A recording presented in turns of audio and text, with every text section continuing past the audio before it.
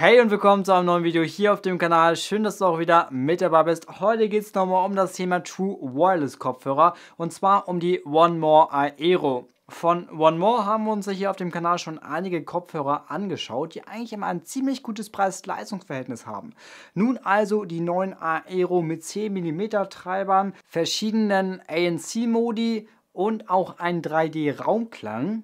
Wie das so ist, das erfahrt ihr nach dem Intro. Let's go!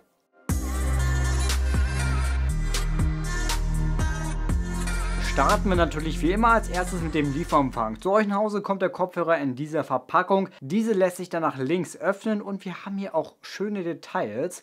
Und hier haben wir dann als nächstes die Case mitsamt der Kopfhörer an sich etwas Papierkram, ein USB-A auf USB-C Ladekabel und verschiedene Ohraufsätze. Hier ist es auf jeden Fall ganz wichtig, testet die verschiedenen Ohraufsätze mal durch. Denn so könnt ihr sehen, welcher von den insgesamt vier verschiedenen Ohraufsätzen für euer Ohr am besten geeignet ist. Bei mir sitzen die Standard-Ohraufsätze am besten, aber wenn ihr etwas größere oder auch kleinere Ohren habt, dann ja, checkt das hier auf jeden Fall mal aus, denn das ist auf jeden Fall wichtig, denn so habt ihr auch das beste Active Noise Cancelling und natürlich auch den besten Tragekomfort.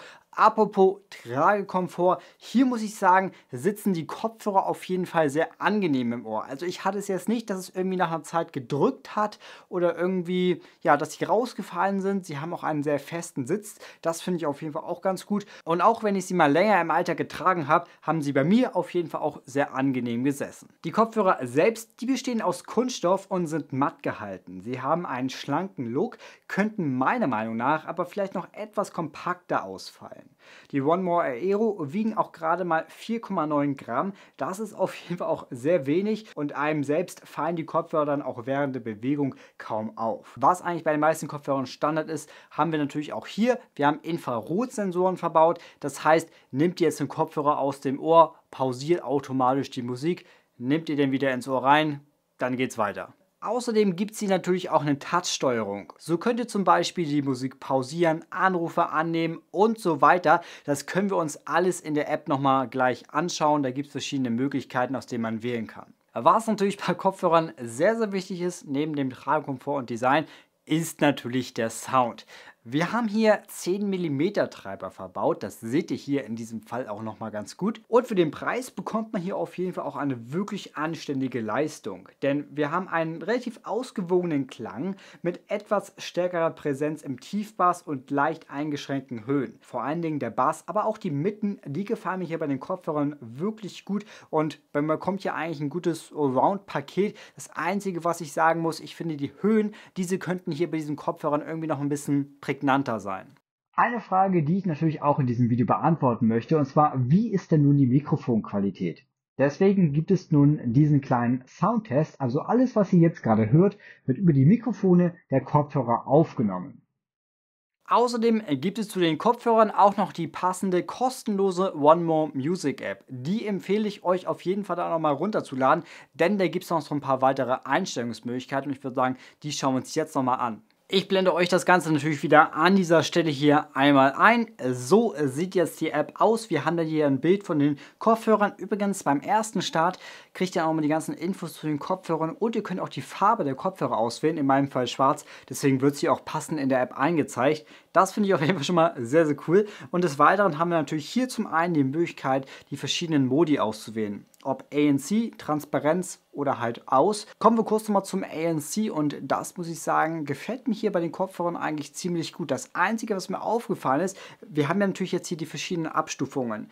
Stark, da hört man einfach schon so ein ja, ganz minimales Grundrauschen. Das merkt man aber auch wirklich nur, wenn man zum einen gar nichts hört oder sehr, sehr leise Sequenzen bei Podcast, Musik oder so. Wenn man jetzt ganz normal Musik hört auf, ich sag mal, 80% Lautstärke, merkt man das gar nicht. Wenn man das Active Noise Cancelling auf schwach stellt, dann ist es ja weniger. Oder es gibt auch WNR, da werden einfach die Windgeräusche herausgefiltert, beziehungsweise die nimmt man dann nicht so wahr.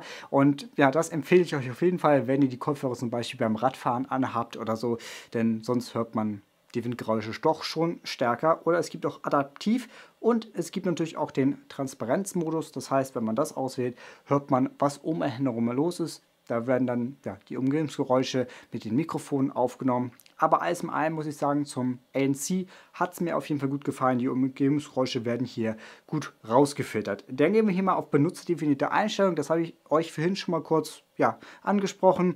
Und zwar können wir jetzt hier nun einstellen, was passieren soll, wenn wir zum Beispiel doppelt auf den Kopfhörer tippen, links oder rechts. Des Weiteren gibt es auch räumliches Audio und das ist auf jeden Fall ganz cool.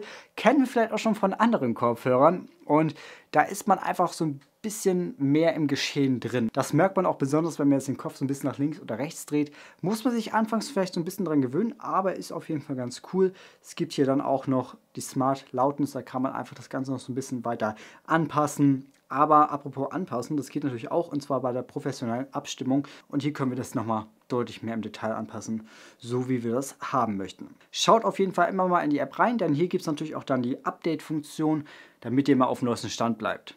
Kommen wir kurz nochmal zur Akkulaufzeit. Ohne ANC kommt ihr hier so 6 bis 7 Stunden damit aus. Mit aktiviertem ANC so etwa 5, 5,5 Stunden. Aber es gibt natürlich immer noch die Ladecase. Da werden die Kopfhörer dann aufgeladen und ich sag mal, da kommt man auf jeden Fall dann easy zwei Wochen oder vielleicht auch länger damit aus. Nun sind wir auch schon wieder beim Fazit angekommen. Alles in allem haben die One More Aero gut im Alltag gefallen. Das Einzige, was mich so ein bisschen gestört hat, ist, dass wir einfach so ein minimales Grundrauschen haben, wenn wir ANC aktiviert haben. Ansonsten die Touch-Bedienung, der Klang, die verschiedenen ANC-Modi und auch die App, die haben mir hier bei den Kopfhörern wirklich gut gefallen. Alle Infos zu den Kopfhörern und vieles weitere findet ihr natürlich unten in der Videobeschreibung. Ich bedanke mich wie immer fürs Zuschauen, wünsche euch noch einen schönen Tag. Bis dann. Macht's gut. Ciao, ciao.